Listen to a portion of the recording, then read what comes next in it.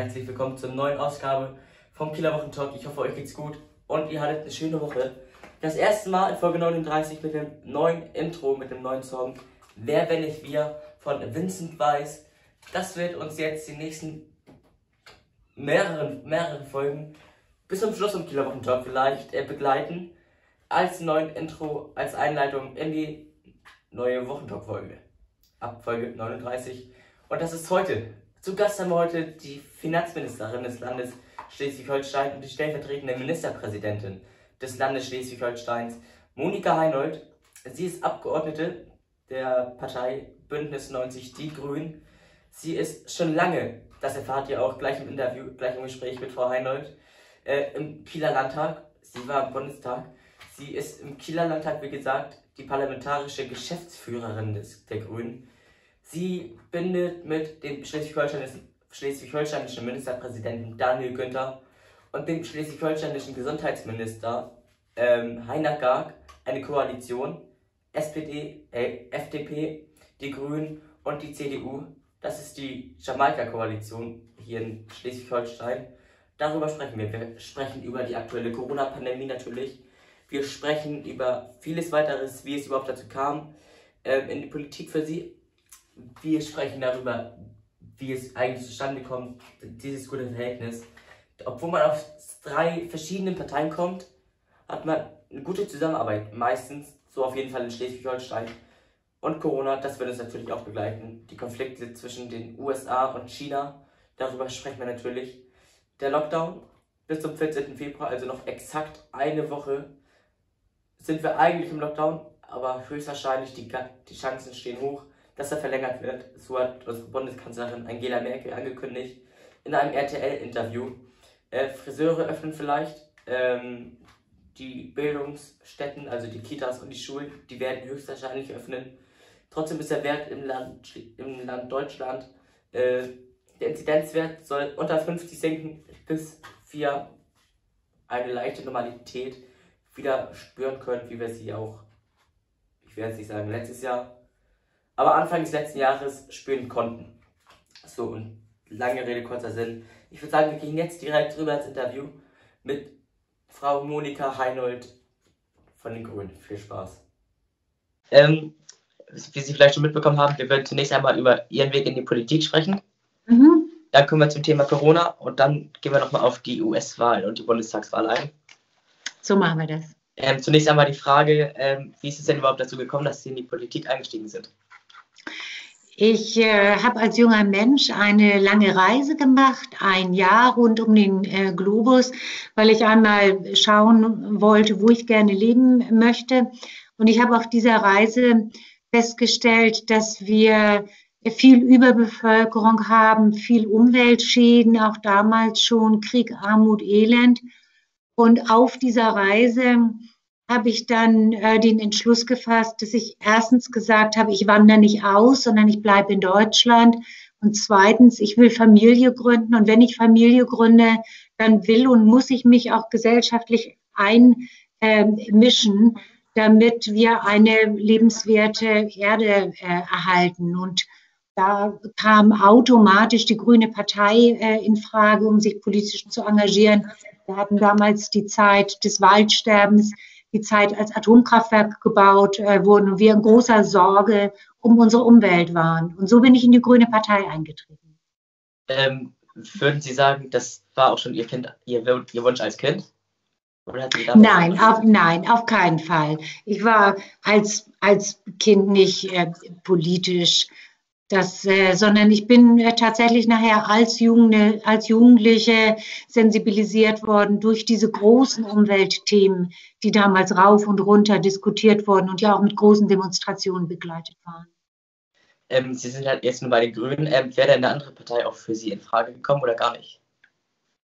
Nein, äh, wie, mir war die Ökologie, Ökologie, ganz wichtig und die soziale äh, Gerechtigkeit und bei der sozialen Gerechtigkeit, da hätte ich vielleicht noch die SPD äh, wählen können. Aber der Umweltgedanke äh, war damals sehr stark äh, von der Grünen Partei besetzt. Die war ja dabei, sich zu gründen. Und äh, da war es mir wichtig, mitzumachen und auch klar äh, in dieser Ausrichtung, sich eben um unseren Globus zu kümmern. Und deshalb hat dieses erste Plakat der Grünen oder eines der ersten mir auch sehr, sehr gut gefallen, wo ja drauf steht, wir haben die Erde von unseren Kindern nur geborgt. Das war damals auch so mein, mein Leitgedanke, äh, weshalb ich gesagt habe, da, da will und muss ich mich engagieren. Wenn Sie sich jetzt nochmal an den ersten Tag äh, hineinversetzen, Ihren ersten Politiktag, äh, mit, welchen, mit welchen Hoffnungen sind Sie in Ihre lange Karriere gegangen? Ich wollte keine Karriere machen, sondern ähm, ich wollte eigentlich nur vor Ort ähm, mitwirken, äh, dass wir etwas äh, verändern. Und ähm, ich bin damals ja parallel meinen beruflichen Weg gegangen. Äh, als Erzieherin äh, habe ich in unterschiedlichen Einrichtungen äh, gearbeitet. Und an Karriere habe ich damals überhaupt nicht gedacht. Die Grünen waren in der Gründung, die waren in keinen Parlamenten. Und das war auch nicht mein Ziel, irgendwo im Landtag oder im Bundestag zu landen. Hätten Sie denn früher gedacht, dass Sie jetzt so eine hohe Position im Land, im Land Schleswig-Holstein auch haben werden? Nein, das hätte ich nicht. Das, äh, mein Ziel war, als Erzieherin zu arbeiten. Das habe ich viele Jahre mit Leidenschaft äh, gemacht. Ich bin dann eher zufällig in den äh, Kreistag im äh, Kreis Segeberg gekommen. Wir haben ja die harte Quotierung äh, als Grüne auf unseren Listen. Und deshalb war es äh, damals so, dass die Männer alle Frauen in der Partei angesprochen haben, gesagt, Mensch, könnt ihr nicht kandidieren, weil die konnten selbst nur kandidieren, wenn auch Frauen auf der Liste waren. Und so bin ich angesprochen und mobilisiert worden und habe gesagt, okay, Kreistag kannst du ja mal ausprobieren, aber war mir sehr unsicher, ob diese Form der aktiven parlamentarischen Politik überhaupt was für mich ist. Und dann im Kreistag war ich total äh, überrascht. Also ich habe eigentlich in dem Moment erst, wo ich Politik richtig erlebt habe, ähm, da flammte dann meine Begeisterung äh, auf und der Wille wirklich auch ganz aktiv mitzugestalten. Wenn Sie jetzt mal so ähm, Anfang Januar auf Ihre Karriere zurückblicken, auf Ihren Weg, ähm, was war bisher Ihr größter Erfolg?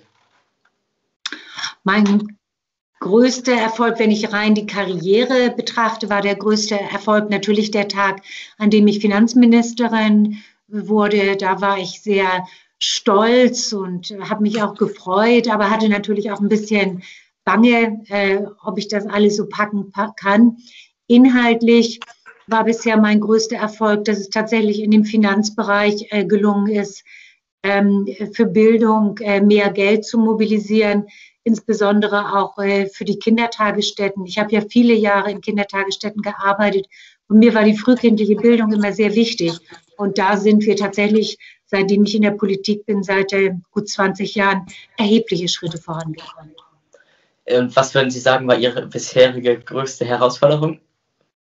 Die größte Herausforderung war tatsächlich, das Ministerinnenamt äh, anzutreten mit einer äh, großen Verwaltung mit äh, viereinhalbtausend Mitarbeitern und Mitarbeiterinnen in der Steuer- und Finanzverwaltung in äh, Schleswig-Holstein. Das war schon sehr aufregend am Anfang, diese Verantwortung auszutragen. Ähm, wo möchten Sie denn jetzt noch äh, Stand Anfang Januar hin? Auf welche Position vielleicht noch? Und was möchten Sie noch erreichen? Ich habe ähm, alles äh, erreicht, äh, also mehr erreicht, als ich äh, je erreichen äh, wollte. Insofern habe ich da keine weiteren Ziele, sondern ich bin einfach dankbar äh, dafür, dass ich auch gerade in diesen schwierigen Zeiten mit dazu beitragen kann, dass wir als Land gut durch die Corona-Pandemie durchkommen. Würden Sie in Zeiten der aktuellen Pandemie sagen, Sie bereuen das als Politikerin angefangen zu haben? Nein, gar nicht. Es ist ein anstrengender Job, da soll man nicht, sich nichts vormachen. Es ist äh, tatsächlich eine tägliche Herausforderung. Es ist viel äh, Zeit. Es ist auch immer wieder Ärger. Sie müssen auch die Kraft haben, sich durchzukämpfen.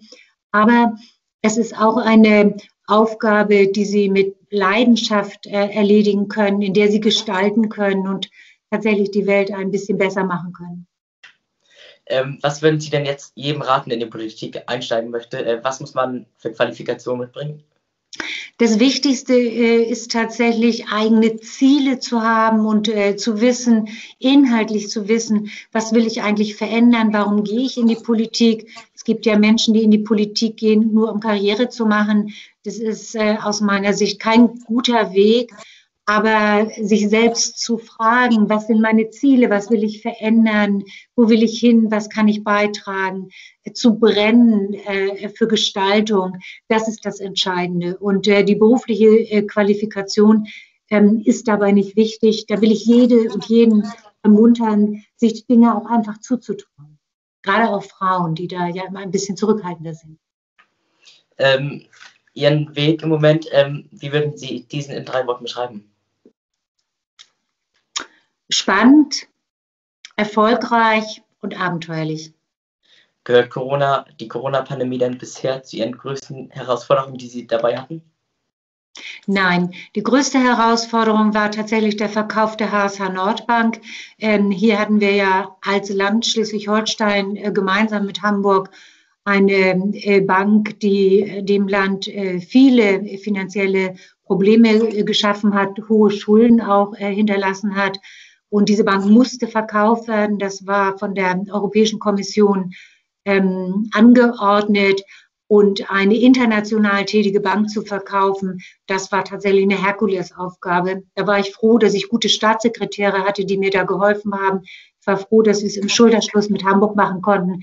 Aber das war tatsächlich die größte Herausforderung. Dann nochmal eine Frage zu Ihren Kollegen. Ähm, abgesehen von den Grünen, also da natürlich auch, haben Sie da einen Lieblingskollegen und auch aus, ihr, aus Ihrer Ko Koalition? Also ich arbeite in der Koalition tatsächlich mit allen gern äh, zusammen.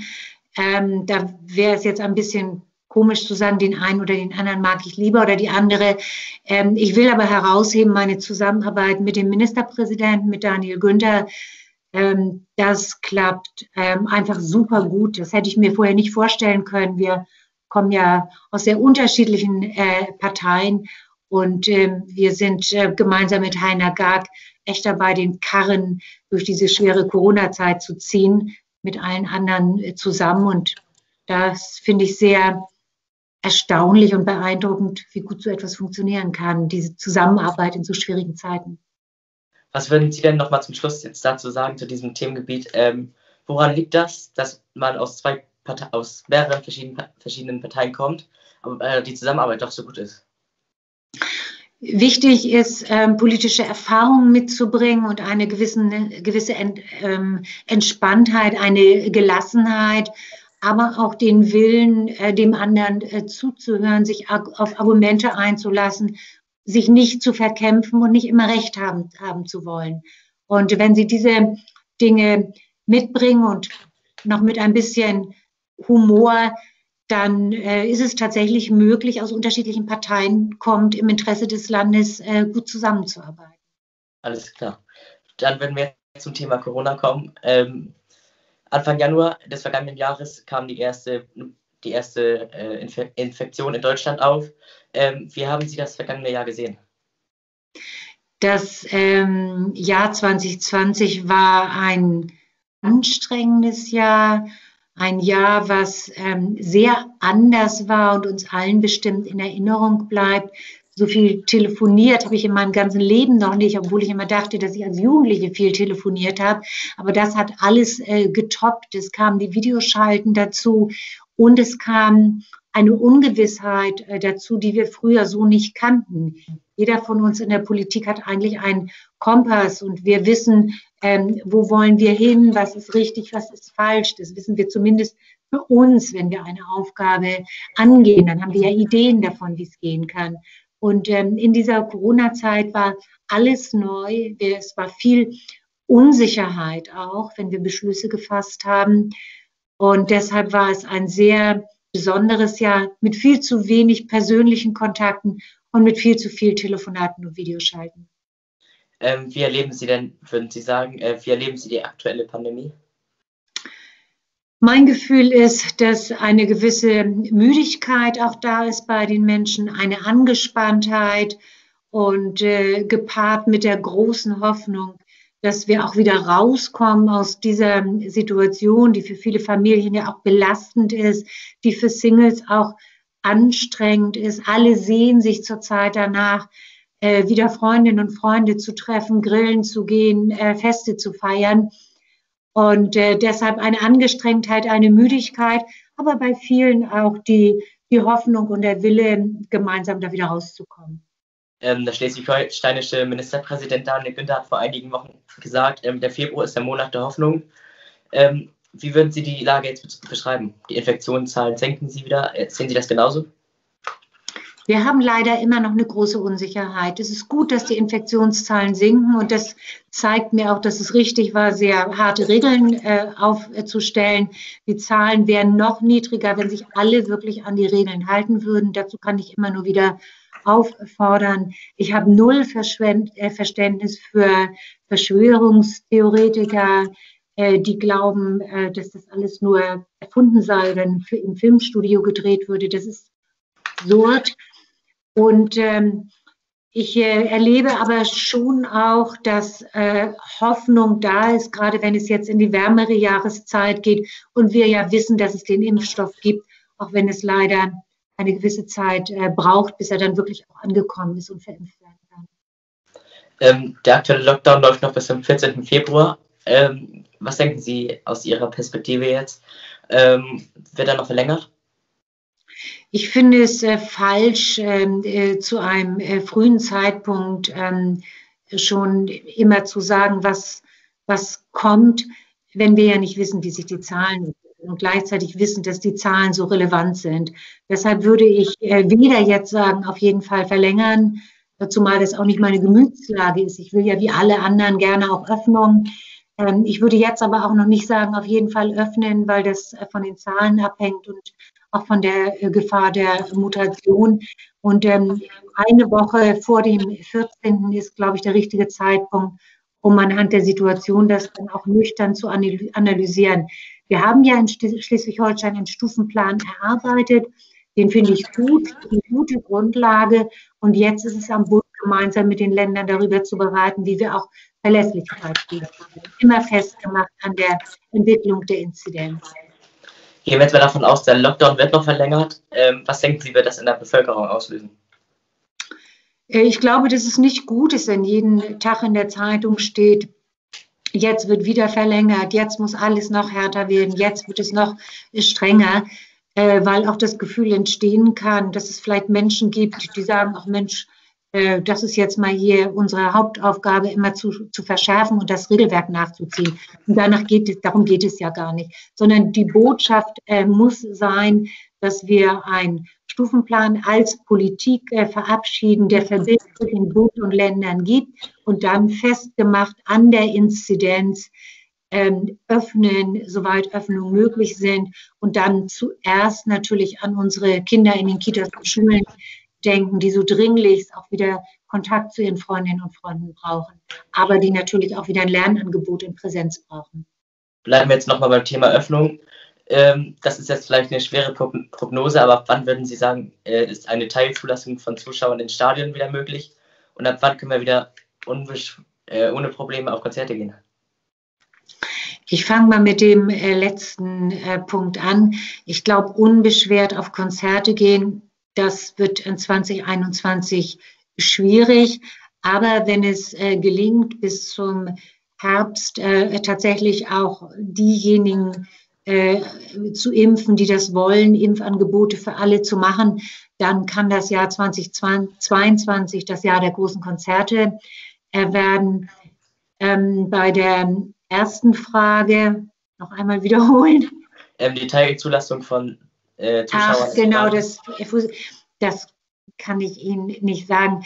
Aber mit einem guten äh, Hygienekonzept kann das dann starten, wenn wir in der Inzidenz wieder so sind, dass die Ansteckungsgefahr gering ist und dass viele Menschen geimpft sind. Im vergangenen Jahr hatten wir ja auch schon mal die Phase, dass einige Zuschauer in den Stadien äh, durften. Denken Sie, im Mai zum Saisonabschluss könnte das nochmal möglich sein beim Fußball? Also ich muss ehrlich sagen, dass das nicht meine Priorität ist, an die ich denke, sondern worum wir uns wirklich kümmern müssen, ist, dass äh, Kinder und ähm, Jugendliche wieder ihre Lernangebote, ihre Betreuungsangebote wahrnehmen können, dass die Menschen wieder zum Friseur gehen können, dass auch Kleinkunst wieder die Möglichkeit hat, äh, sich zu zeigen, dass Wildparks, Museen, dass äh, dort sich die Menschen auch wieder in ihrer Freizeit hinbewegen äh, können. Und ja, Auch für den Sport ist es wichtig, mit Zuschauerinnen und Zuschauern ähm, zu spielen. Aber der Sport sollte auch ein gutes Vorbild sein für alle anderen und sich eher zurückhalten, solange andere Dinge noch nicht möglich sind. In einigen Schulen findet jetzt auch gerade für die Abschlussklassen Unterricht statt. Ähm, finden Sie das richtig? Ja, ähm, alles, was geht und hilft, ähm, den äh, jungen Menschen einen Abschluss äh, zu ermöglichen, der möglichst vergleichbar und gut ist, äh, unterstütze ich immer dann, wenn die Hygienevorschriften eingehalten werden. Und da geben sich alle vor Ort die allergrößte Mühe. Ähm, wenn Sie jetzt mal als Finanzministerin äh, auf die Abschlussjahrgänge blicken, äh, würden Sie sagen, das ist der Corona-Abschlussjahrgang, die jetzt die Schule verlassen? Nein, den äh, Stempel würde ich niemandem aufdrücken äh, wollen. Ich glaube, man kann es auch positiv labeln. Das ist der Jahrgang, der äh, gelernt hat, äh, selbstständig ähm, zu lernen, ähm, der ganz viel digital gelernt hat, der vorbereitet ist auf eine digitale Arbeitswelt auch. Also lieber eine positiv labeln und nicht sagen, hier ist der Stempel, ihr seid der Corona-Jahrgang. Das ist eher der digitale Jahrgang. Das stimmt. Äh, da kommen wir zum Thema Impfen. Ähm, wie würden Sie denn bisher sagen, ist der Impfstart gelaufen? Also wir haben äh, in Schleswig-Holstein ja ziemlich viel schon geimpft im Vergleich zu den anderen äh, Bundesländern. Insofern, wir haben die Impfzentren aufgebaut. Heiner Garg hat das Anmeldesystem als Sozialminister noch einmal äh, verfeinert, ähm, damit die Menschen sich nicht die Finger äh, wund ähm, wählen. Aber die Hauptherausforderung ist natürlich wirklich den Impfstoff zu bekommen.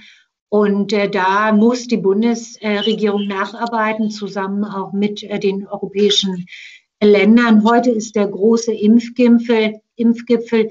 Ob es da nun so klug war, die Ministerpräsidenten und Tinnen einzuladen, die können ja nicht viel an der Situation ändern. Aber die äh, Pharmaindustrie äh, und die Bundesregierung, die äh, müssen jetzt das geben, damit der Impfstoff auch ankommt. Gleichzeitig äh, will ich gerne sagen, die Euphorie war natürlich auch sehr groß und äh, es war natürlich auch ein sehr ehrgeiziges Projekt, zu glauben, dass nach so kurzer Zeit schon sehr viel Impfstoff zur Verfügung steht. Der Bundesgesundheitsminister Jens Spahn sowie die Bundeskanzlerin Angela Merkel haben beide gesagt, ähm, bis Sommer sollen alle geimpft werden, die geimpft werden möchten. Sehen Sie das zum aktuellen Zeitpunkt realistisch? Ich kann es nicht beurteilen, aber ich will äh, einmal ähm, hoffen, dass diejenigen, die so ein Versprechen abgeben, das auch halten. Denn das ist so wichtig für die Menschen in unserem Land, dass Politik nur das verspricht, was gehalten werden kann und was versprochen ist, auch hält. Wie würden Sie denn nun äh, beurteilen, steht Schleswig-Holstein im Vergleich zum Rest von Deutschland da? Wir waren bei den äh, Infektionszahlen ja relativ gut sind jetzt ein bisschen äh, schlechter äh, geworden, gehen eher in Richtung äh, Bundesdurchschnitt, wohl auch, weil wir hier eine Reihe äh, von Mutationen äh, haben. Beim Impfen stehen wir gut da. Da sind wir ähm, im oberen äh, Bereich. Und wir sorgen hier auch dafür, dass die Menschen, wenn sie die erste Impfung bekommen, auch sicher eine zweite Impfung bekommen können. Und das ist natürlich auch ganz wichtig, damit der Impfstoff so eingesetzt wird, dass die Wirkung auch nachhaltig ist. Und wie würden Sie sagen, äh, steht Deutschland im Vergleich zum Rest der Welt da? Deutschland hat ja insgesamt das äh, große Glück, dass wir wirtschaftlich so stark sind, dass wir unsere Wirtschaft stützen und stärken können, dass wir den Familien helfen können, Vereinen, Verbänden. Andere Länder, gerade arme Länder, haben eine viel größere Herausforderung jetzt in dieser äh, Zeit der Pandemie und im europäischen Vergleich, ähm, auch da, wenn wir nach Portugal gucken, nach Spanien, Italien, schlagen wir uns ganz gut. Das darf aber natürlich nicht dazu führen, dass wir sagen, wir wollen jetzt maximal äh, viel Impfstoff haben zu Lasten der anderen europäischen Ländern, sondern da ist die europäische Zusammenarbeit wichtiger denn je.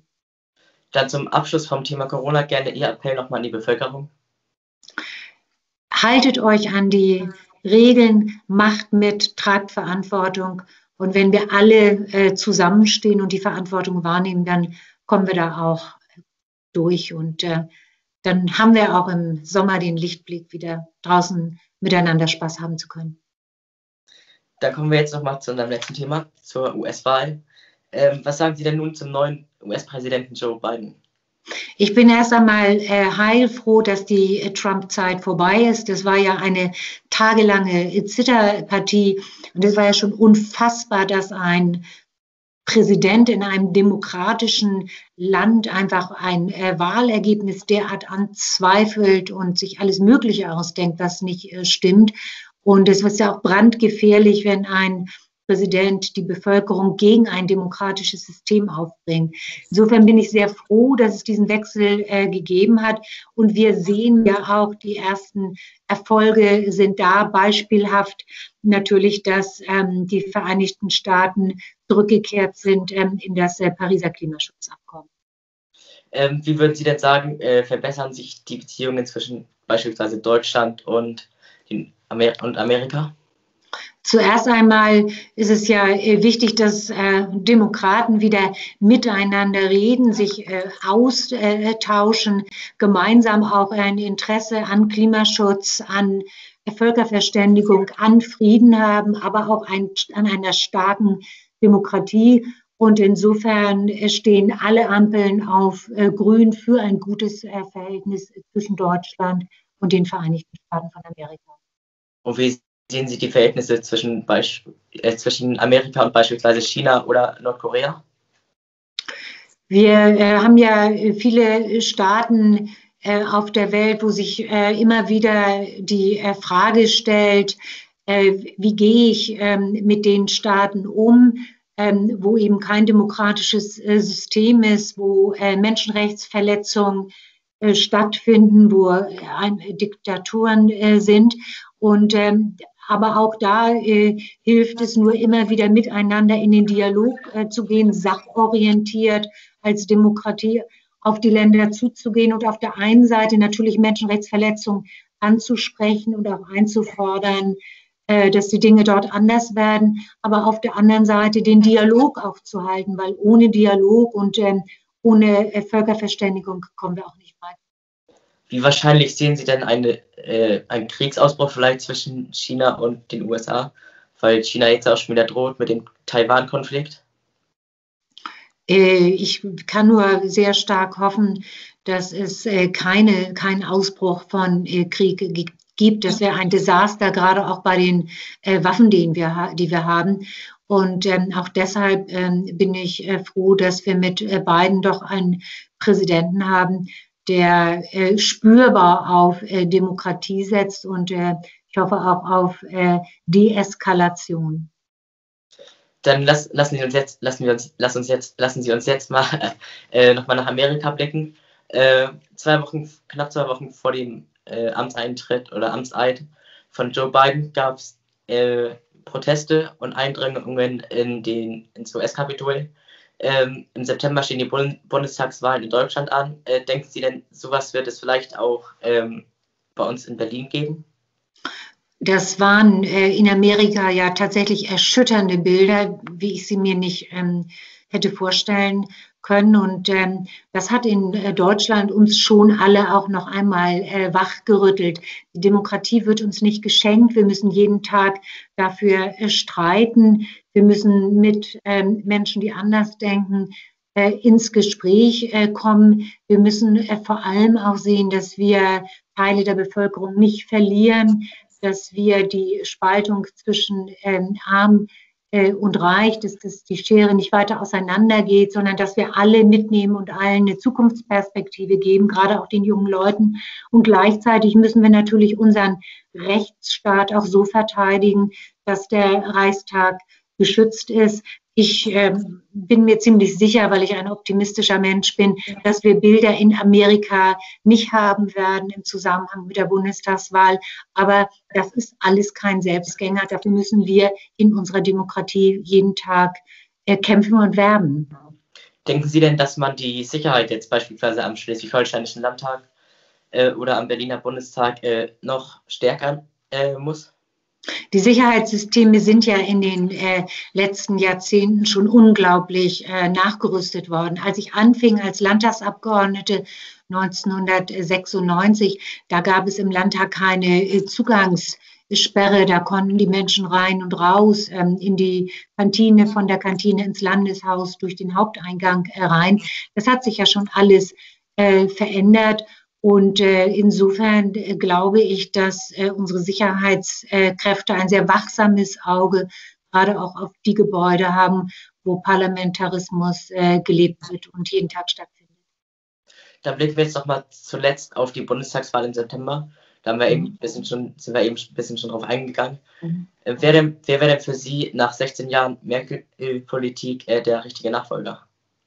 Ich, schwank, ich schwanke zwischen ähm, Annalena Baerbock und äh, Robert Habeck. Ich hoffe tatsächlich, dass wir es als Grüne erschaffen. Wir werden auf jeden Fall dafür erwerben.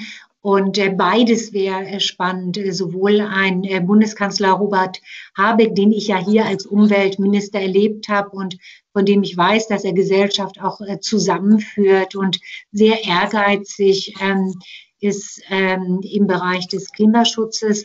Aber auch Annalena wäre eine fantastische äh, Kanzlerin. Sie ist eine Person, die unheimlich kämpferisch ist als junge Frau und auch für soziale Gerechtigkeit äh, steht und kämpft, aber auch für Ökologie. Insofern von mir aus gerne entweder Annalena Baerbock oder Robert Habeck. Die Grünen sind ja jetzt nun äh, drastisch stärker geworden in den letzten Jahren. Ähm, wie realistisch auf, oder auf einer Skala von 1 bis 10, äh, wie stark denken Sie, äh, ist die Wahrscheinlichkeit, dass ein grüner Kanzler äh, wird? Ich würde mal die 6 nehmen. Okay. 10 wäre Full House. äh, wer, wer, könnte sonst noch Nachfolger werden von Frau Merkel?